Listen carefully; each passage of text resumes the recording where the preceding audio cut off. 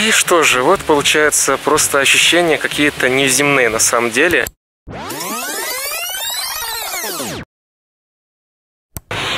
И всем привет, дорогие друзья. Приветствую вас, ребята. Здрасте, ребят.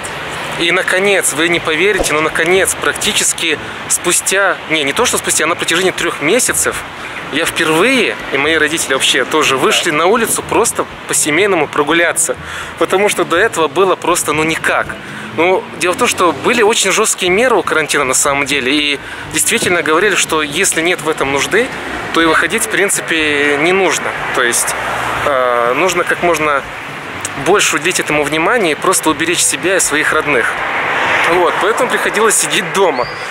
И сказать честно, это было очень тяжело, потому что я вообще э, вот сегодня взял камеру, чтобы наконец заснять, наконец поговорить с вами, потому что я по вам по всем просто дико соскучился. Но ну, представьте себе, я, не знаю, на протяжении какого времени не мог с вами просто выйти прогуляться, и тем более, что в последнее время же у меня видео стали выходить реже, а это связано с тем, что у меня как раз экзамены, до этого были зачеты, после зачетов экзамены, и получается что три экзамена я уже сдал, и остался уже последний экзамен.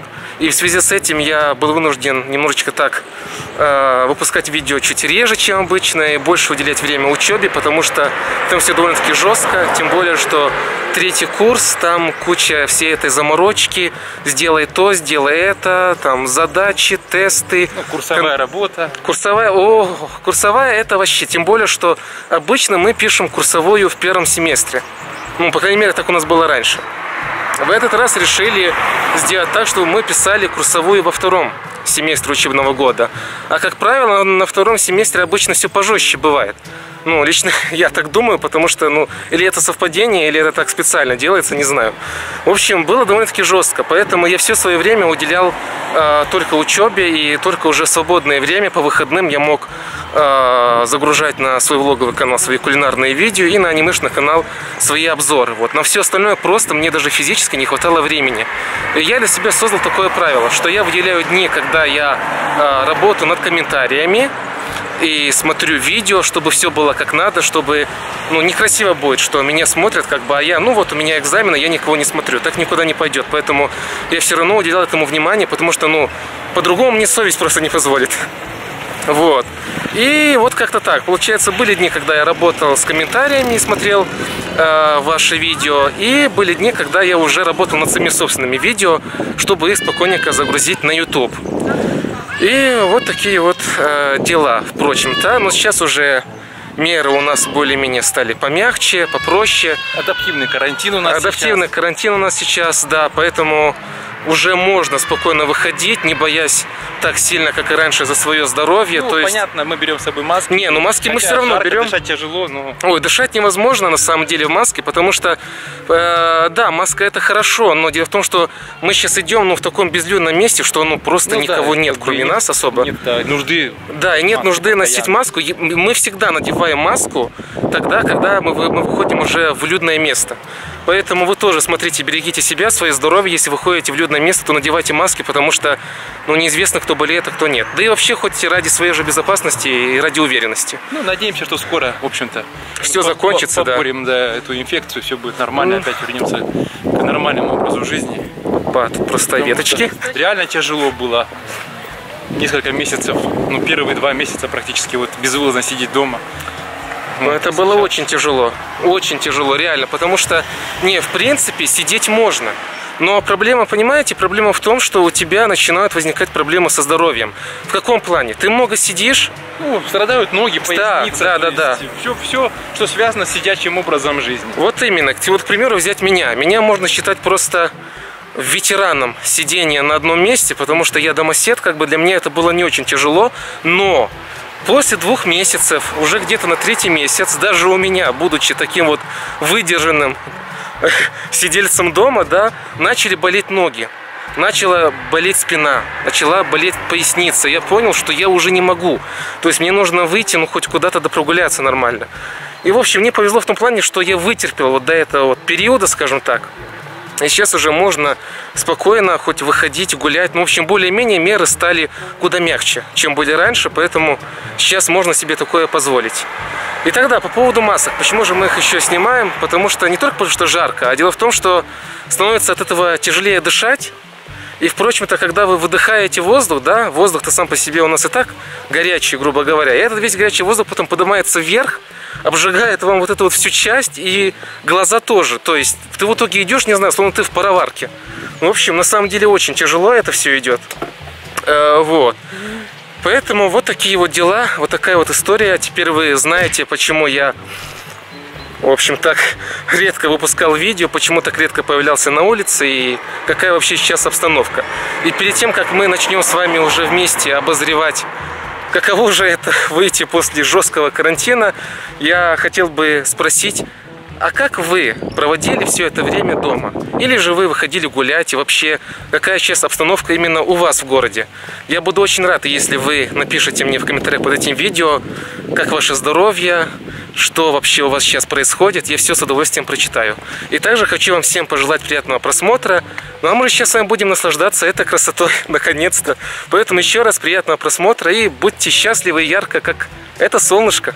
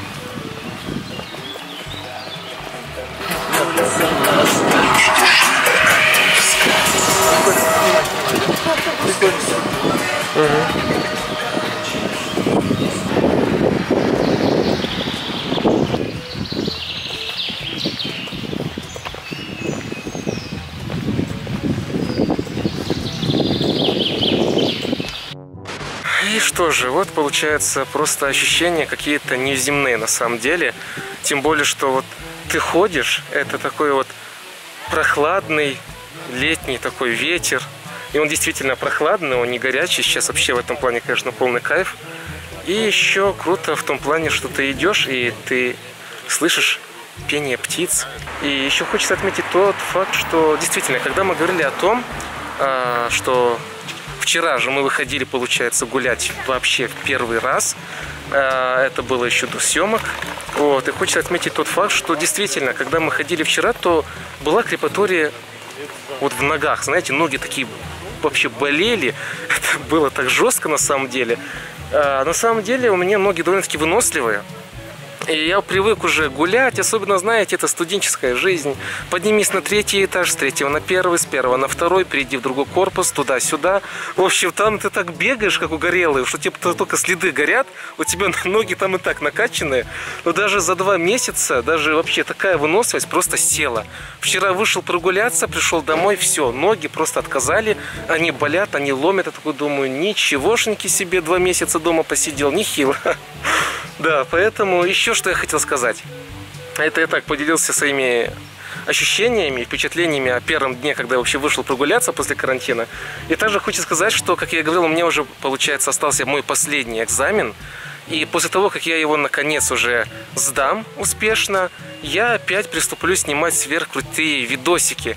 И я наконец могу уже возобновить свою активную деятельность на своем блоговом канале.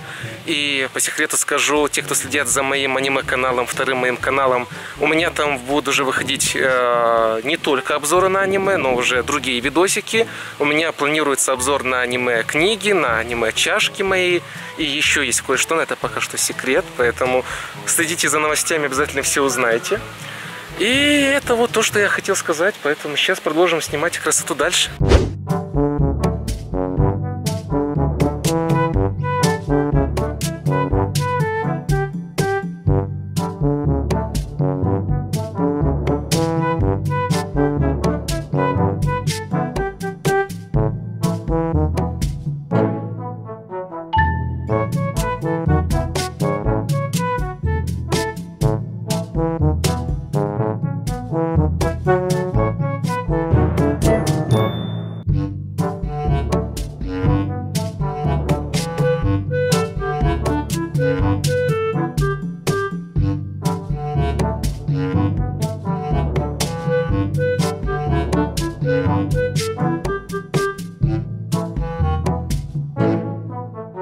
Кстати, еще хотел сказать, что мне на самом деле хочется вам очень много показать.